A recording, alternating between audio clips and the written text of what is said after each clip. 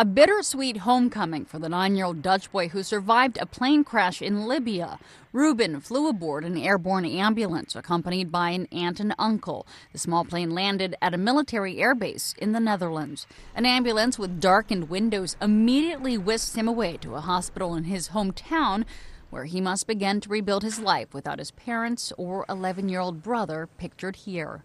Meantime, at a community center in his hometown, people have been paying their respects to the family by signing a condolence book.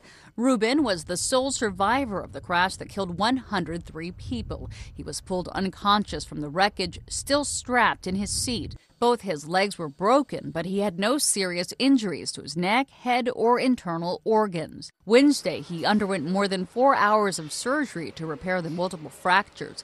Doctors say he's been recovering well. Is he going sedated at all, or I mean, or is he? No, he's fine. He's okay. He's okay. I don't think he, he needs to be. Meanwhile, a statement by close relatives say extended family will care for Ruben. It's not yet clear what caused the plane to crash. The jetliner hit the ground just short of the runway. Myra Lopez, The Associated Press.